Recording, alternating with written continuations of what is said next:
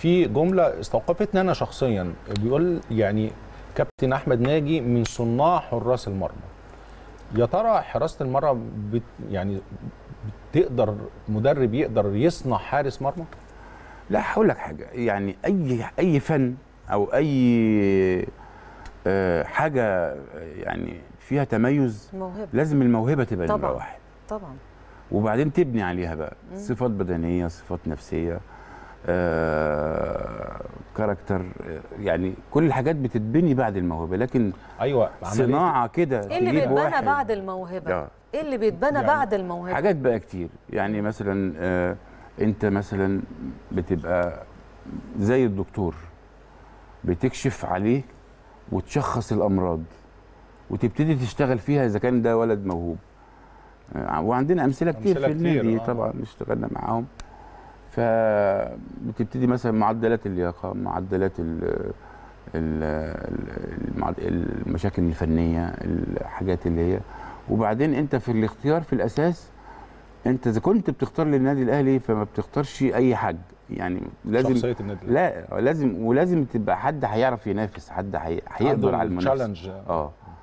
بس فلكن طبعا الموهبة لازم تبقى هي ال- التايتل أنا آه الكبير طب كل مدرب يقدر يصنع ده؟ هو السؤال برضه علشان يكون واضح. ما أعتقدش كل مدرب عنده عنده ال- ال- زي. ما بيقولوا ال- ملكة دي. بس هو آه. المدرب. المدرب. أنا آه. ب- بالظبط زي ما دلوقتي حصل لغط على مين؟ هو صاحب الفضل على الشناوي مثلا. تمام؟ فأنا قلت مثل حلو قوي. قلت هي نخلة. كله بيهز فيها. كل المدربين اللي اشتغلوا معاه بيهزوا فيها. في واحد بيوقع بلحتين وفي واحد بيوقع صباطه وانت وشطارتك. يعني هو اتمرن مع خمس ست مدربين أكيد كلهم ليهم الفضل عليه. صحيح. من أول إبراهيم عبد العزيز إمام عبد العال كابتن محمد يونس ليه فضل كبير عليه جدا الكابتن طارق سليمان ليه فضل كبير عليه جدا.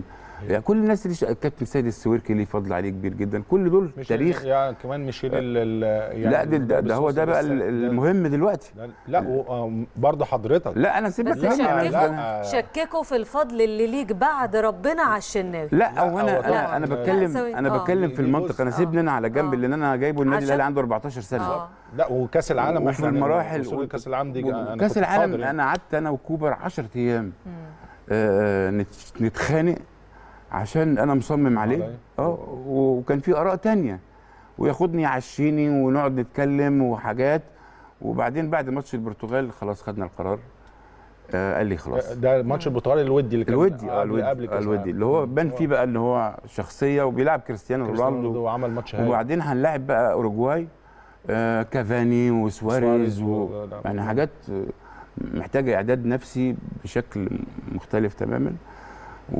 وبعد المباراة كان مهم جدا إن هو رجل آه،.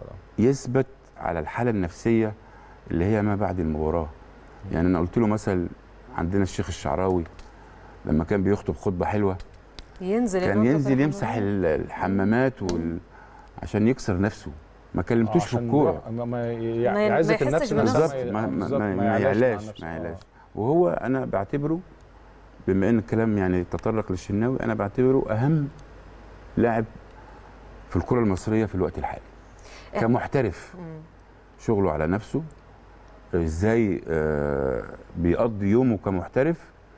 آه، طبعا عنده عيلته ربنا يخليها له مراته واولاده وحماته وأبوه وكل عيلته مساندينه مساندة بشكل قوي جدا. بيعرف ناس آه، يعني ما بيخلوهوش يبقى في حتة تانية غير غير ح- الشغل. مفيش صحاب سوء.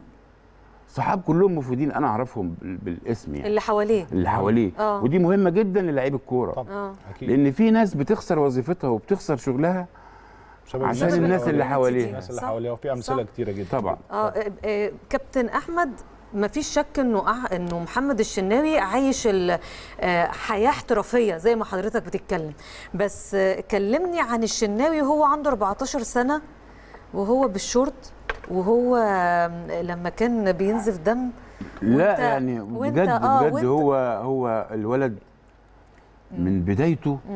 وهو مبشر جدا. جدا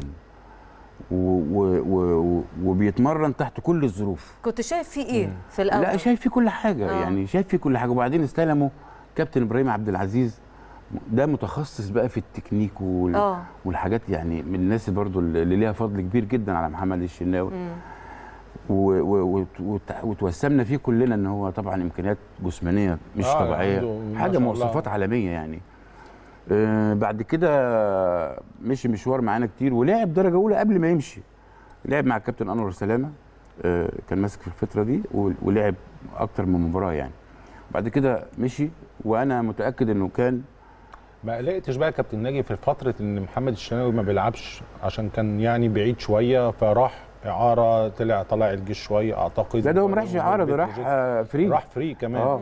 ما قلقتش وبعدين أنا في؟ المنتخب كنت باخده في بتروجيت. لا أنت ما قلقتش عليه إن ممكن جدا آه، خروجه من النادي لا شخصيته عن- مش كده. دي بقى دي اللي عايز أوصل له. آه لا. شخصيته لا شخصيته شخصية الشناوي آه، فيها ال- التشالنج ده فيها تحدي. التحدي وفيها ال ال ال ال إنه شايف نفسه بعدين.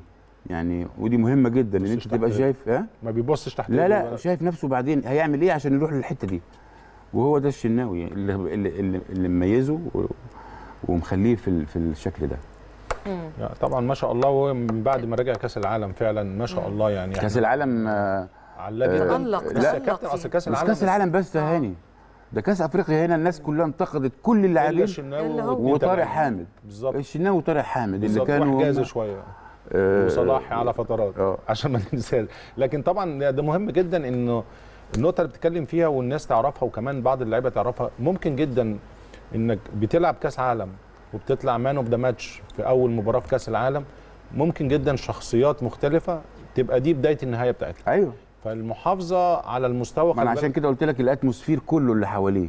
آه. يعني أنت بترجع ده آه. الحياة اللي بره الملعب كمان طبعا هي بره الملعب بره الملعب ده ده, مهم ده جدا. ده أهم. آه. بره الملعب ده مهم جدا. الحياة اللي أنت عايشها الجو اللي أنت من خلاله آه، بيتقال لك كلام بيخليك تورم ولا بيخليك تهدى ولا بيخليك تبقى فاهمني. هو لا هو عاقل جدا و... و... وأنا شايف إن هو لسه في حاجات هتبقى أحسن الله. بقى في صناعة الألعاب محمد الشناوي برضو يمكن صناعة الأهداف ده برضو يعني حاجة يعني نادرة جدا لما نتكلم عن حراسة المرمى مش لا ما مش المسألة وجهه دي. بتبقى بس حاجتين هو- بتبقى فنية آه يعني مثلا عنده معدلات القوة وصلت لمرحلة كويسة جدا صحيح. وزائد حاجة آه. اسمها الدقة آه إنه يحط يحط ال- الكوره في الكرة في المكان مكان اللي هو. عايزه. العلاقة بين جهازه العصبي والعضلي موجودة. المسافه بين اتخاذ القرار وتنفيذه موجودة. ال- الرياكشن موجود. اللي هو يعني أنا آه، هاخد الكوره وهلعبها في المنطقة الفلانية. ده قرار يعني مركب. صحيح. آه. فهو يعني شاطر يعني يعني شاطر بجد. وأنا أنا بقول له كلمتين بعد كل ماتش أو أبعت له رساله صوتيه أنا فخور بيك. بس حلو خلاص.